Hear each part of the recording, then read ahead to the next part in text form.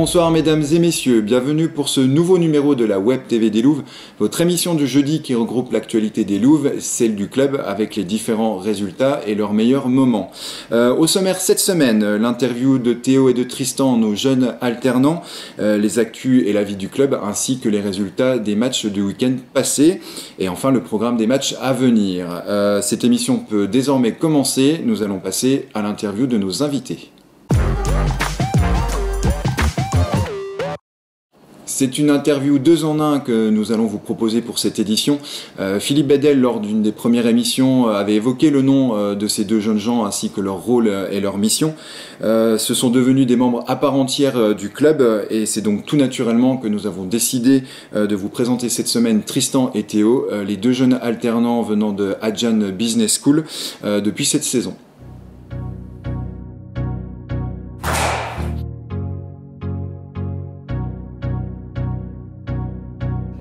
Bah, moi c'est Théo Taburio, je suis responsable communication et activation au sein du club de volleyball de Saint-Dié.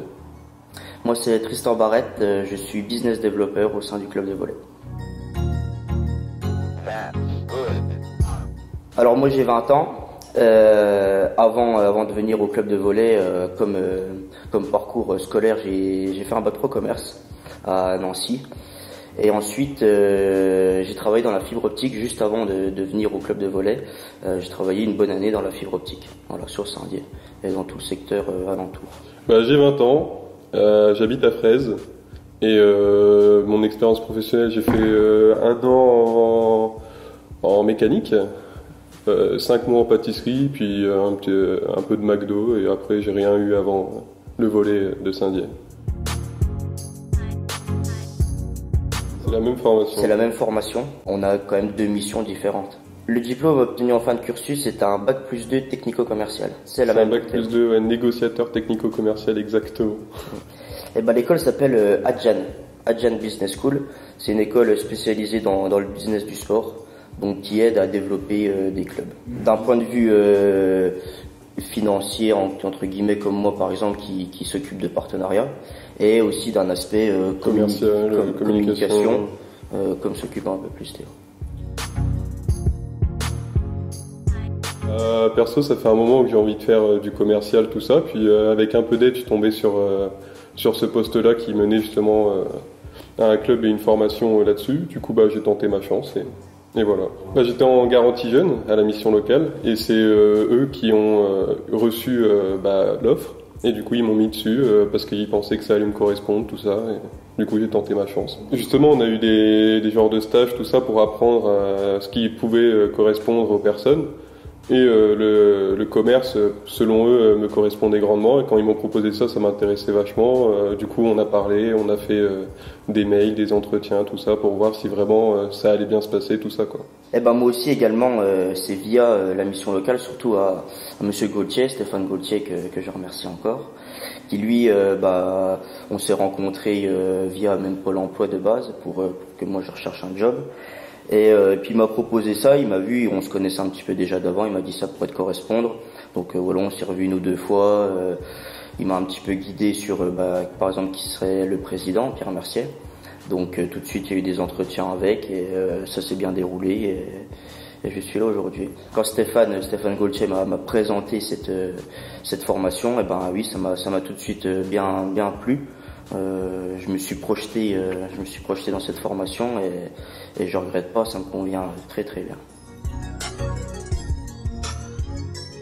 En fait, c'est le club, enfin c'est, je sais plus si c'est Adjan ou le club qui a pris euh, contact avec l'un ou l'autre. Et euh, avec la formation, du coup, bah, il cherchait quelqu'un pour pouvoir développer le club, etc. Et en fait, un, un jour, Pierre Mercier, il a, il a rencontré Christophe Jameau. Et, euh, et c'est ce monsieur-là qui lui a parlé à, à Pierre euh, de, de, cette école-là et qui pourrait l'aider à, à, faire évoluer le club. Donc euh, Pierre s'est renseigné et puis a lui, lui pris contact avec l'école. Pour ma part, l'intégration s'est très bien faite. Euh, car euh, tout de suite au début j'ai vu que j'allais être très bien accompagné avec euh, la connaissance de Philippe Bedel par exemple qui lui m'accompagne encore encore actuellement et qui m'aide énormément. On s'entend très bien et, j'en suis très content. Et sinon l'intégration même avec les, autres personnes du club, les bénévoles, Seb, tout le monde, non, globalement ça s'est très bien passé, une très bonne entente. Après ça, reste le milieu du sport, moi j'adore le sport donc forcément on va, on va vers le, la sympathie. ouais, c'est une ambiance hyper familiale, amicale, tout ça, donc bah, tout se passe super bien, même dès le début, tout le monde te met à l'aise, tout ça, et c'est super quoi. Bah moi personnellement je m'occupe euh, de tout ce qui est euh, affichage, magazine, flyers et euh, bah, les grandes affiches que je peux mettre dans un peu tous les commerces de la plupart des commerces de Saint-Dié. Je m'occupe aussi de pas mal d'invitations classiques pour les matchs, pour inviter, bah, euh, on va commencer à faire les écoles, tout ça, donc c'est moi qui va gérer ça. Et euh, pendant les matchs, je m'occupe aussi euh, de la boutique et un peu des, agents de sécurité selon leurs besoins, tout ça, et même d'autres tâches parfois en dehors si vraiment on me demande. Donc moi, je m'occupe de la recherche de partenariats ou même de, de renouveler des conventions de partenariat qui n'ont pas été faites en début de saison. Euh, je recherche de nouveaux sponsors pour, euh, pour les saisons d'après, pour évoluer, pour, euh, pour espérons monter en, en Liga AF. Et donc là, forcément, qui dit monter en Liga AF dit fonds supplémentaires pour le club. Donc là, c'est pour ça que, que j'interviens et que, et que il faut de nouveaux sponsors. Je cherche de nouveaux sponsors, j'en trouve. D'ailleurs, avec l'aide de, de, Philippe Bedel, qui, qui m'aide beaucoup, je leur dis. Voilà. Et sinon, euh, pour ce qui est euh, plutôt pendant, pendant les matchs, euh, je m'occupe de bah, toujours des partenaires, de leur accueil, de leur place, aussi un petit peu de l'installation de la salle, même du pot VIP qu'on fait après, après le match. oui, moi j'aime bien le sport, hein, forcément. Hein. J'adore ça. J'en ai fait depuis, j'en fais depuis tout jeune. J'ai commencé par le foot. Je fais beaucoup de vélo, euh, légèrement un petit peu de boxe, de tennis. Euh, voilà, globalement, euh, mais sinon toujours, toujours avoir une activité physique régulière. Moi j'ai fait 8 ans de basket plus jeune, mais maintenant c'est stagne. Donc ce qui est intéressant pour, pour nous deux, c'est que nous découvrons le, le fonctionnement, l'organisation d'un club de sport. Bah, Personnellement, j'ai envie de réussir mes objectifs au sein du club, donc euh, tout ce qui est remplissage de la salle, faire venir de plus en plus de monde, tout ça. Et puis, euh, en termes personnels, ce serait juste de, prendre un peu mon indépendance et continuer à évoluer euh, en général dans la vie. Quoi. Donc euh, moi, pour mon avenir professionnel, bah déjà, je, pense que je suis dans dans une bonne voie là actuellement grâce à toutes les relations que je suis en train de, construire. Euh, grâce justement à la recherche de partenariats, de, rencontrer des gens euh, régulièrement même de rencontrer, euh, d'avoir rencontré le, président du club, hein, Pierre Mercier, qui est une personne très reconnue sur le secteur de Saint-Dié, et c'est un, plaisir et une fierté de, de, travailler avec lui et qui puisse me, me guider et m'aider dans, dans, dans ce, ce monde de commerciaux. Et donc, dans un premier temps, oui, je me vois, je me vois continuer au sein du club, dans un premier temps. Après, voilà, hein, les, les, portes s'ouvriront à moi à chaque opportunité, et puis je verrai bien, euh, je verrai bien euh, comment ça se passe. Hein, c'est, euh, la vie, comme on dit. tout d'abord, je voulais remercier le, public, hein, déjà, parce que on n'y pense pas forcément, mais c'est quand même grâce à eux que, le club monte aussi. Hein, sans le public, un club n'est pas grand-chose au final.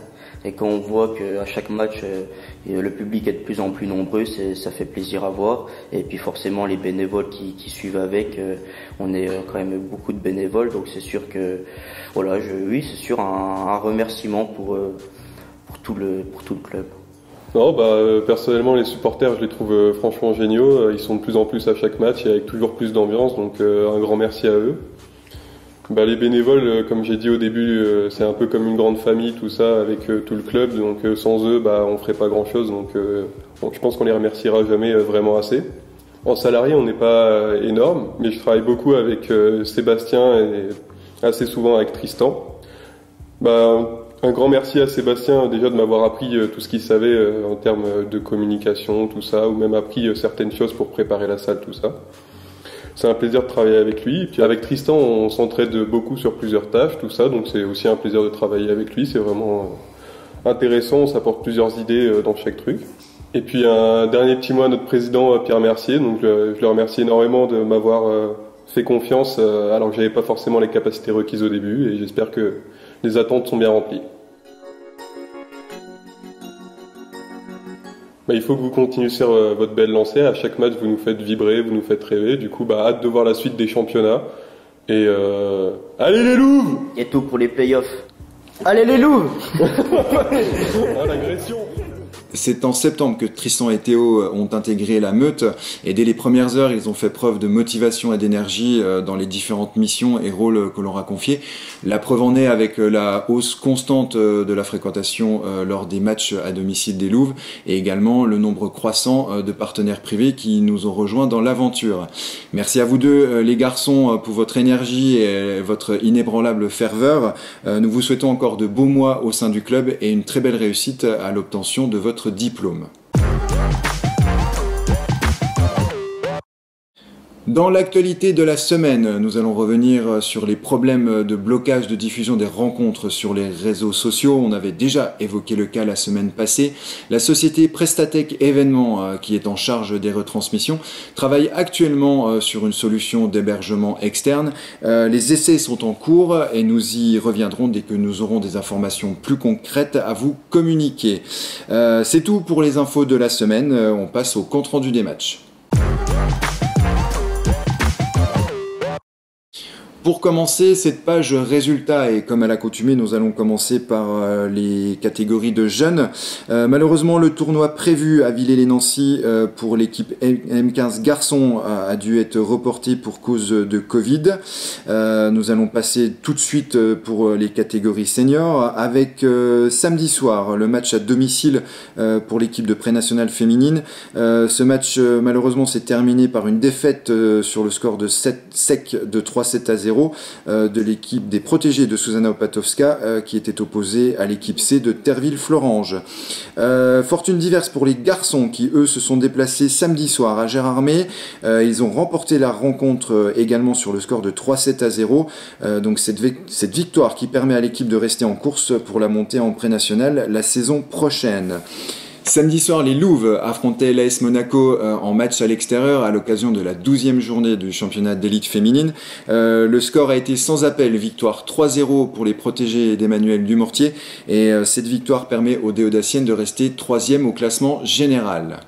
Lundi soir, nous sommes allés retrouver le coach qui nous a livré son compte-rendu. Alors, lors du dernier match, ici contre Saint-Laurent-du-Var, tu as déclaré que euh, l'année précédente, vous étiez gaufré à Monaco. Oui. Euh, est-ce que le sort est conjuré? Bah, Déjà, il y a un succès. Donc, euh, on, avait, on avait 100% de défaite, maintenant on a 50% de victoire. Nous n'étions allés qu'une seule fois à Monaco, donc on avait perdu. Là, le fait de s'imposer à Monaco remet les choses dans l'ordre, on va dire. On va mettre les choses dans l'ordre.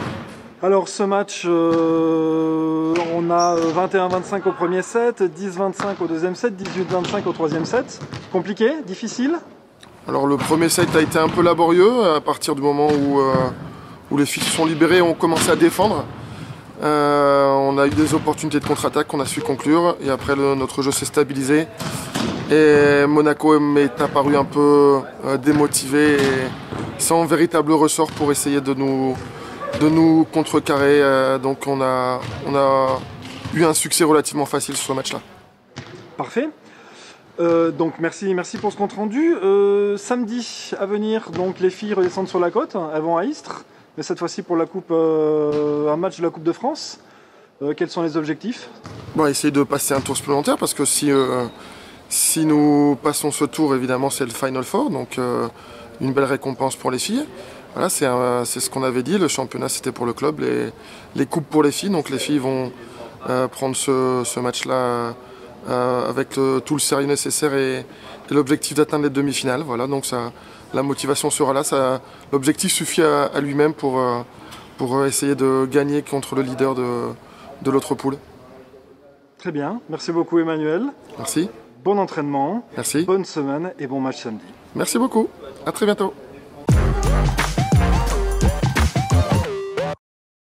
Pour le programme du week-end prochain, à commencer par les Louves, elles se déplaceront euh, sur la côte provençale euh, samedi prochain. Elles disputeront face à Istres leur quart de finale de la Coupe de France fédérale et essaieront d'obtenir leur qualification pour le Final Four euh, qui se déroulera début avril.